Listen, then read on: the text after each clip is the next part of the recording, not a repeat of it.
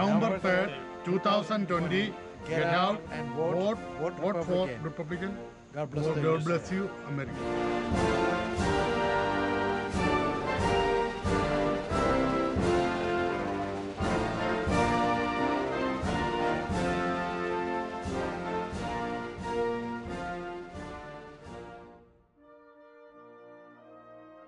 Uh, November 3rd is going to be the election day in the US. President Trump is uh, running um, to representing the Republican um, Party, and uh, Mr. Joseph Biden or Joe Biden is running for office representing Democratic Party.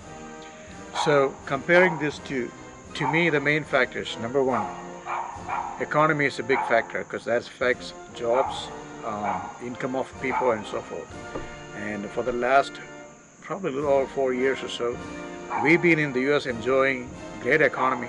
Uh, people that invested money in all kinds of um, um, ways, they they all seen their fortune and so forth. So that's number one factor, and I, I want that trend to continue instead of uh, depleting the whole economy.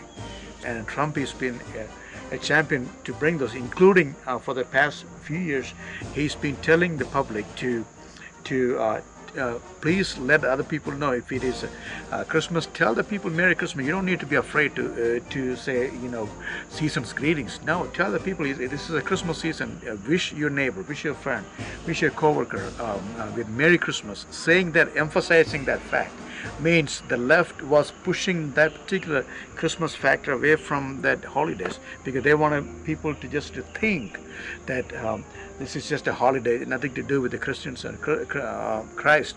So uh, Trump has been uh, emphasizing the fact that we should, uh, without fear, uh, tell people. So th- these are something to is tied up with that. Freedom of religion. So that's one of the aspects also I'm voting for Trump.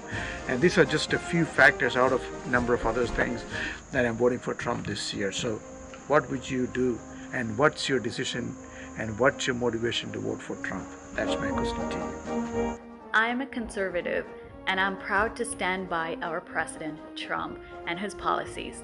I vote my rights on November 3rd. Hello there. Uh, I am a conservative evangelical Christian supporting President Trump for this election. He's a president who is pro life, who believes in upholding the constitution of this country, and who believes in making this country great again for all legal immigrants like me who came to this country for a better future.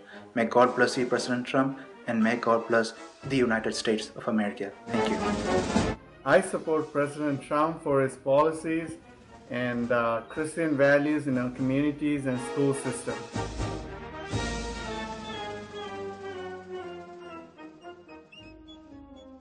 Mr. Sabukurian, he is a former uh, coordinator for the Labour, uh, sorry, Conservative Party in uh, UK, and he moved his uh, strong roots from uh, UK to US, and he settled down in Georgia, and he's bringing some of the grassroots from his success stories from uh, UK to to the US, especially during this election year 2020, is so critical that his some of his movements and key thoughts to bring some of the conservative um, uh, forum here in in uh, in Athens and Atlanta and uh, uh, the whole of Gwinnett and Walton County. It's all spread across, and uh, we need to get his wisdom and some other coordination that he's offered to bring the, those conservative forum, uh, the folks in this area to bring them to the polling booth. And of um, um, David Cameron and also Boris Johnson um, in UK.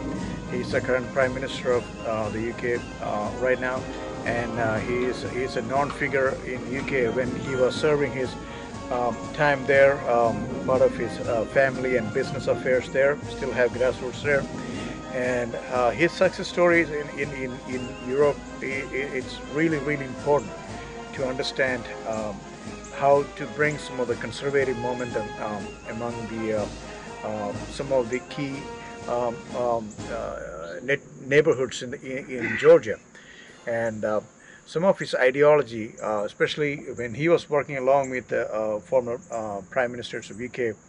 There's a lot of uh, good, credible events that he presented to us that it's been really, really effective If tomorrow all the things were gone.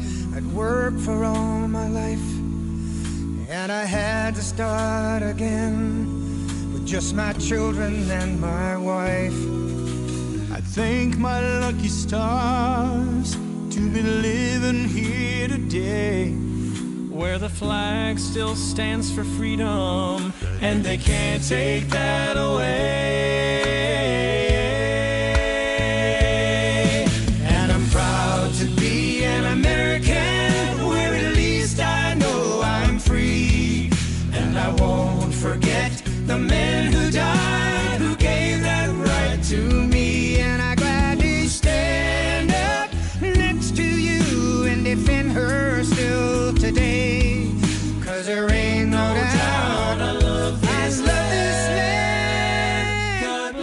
Bless the USA. God bless the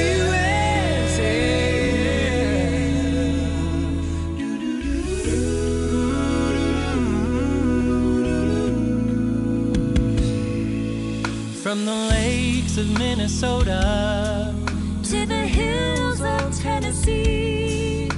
across the plains of Texas, oh, from sea to shining sea. From Detroit down to Houston and New York to LA, where there's pride in every American heart, and it's time we stand and say.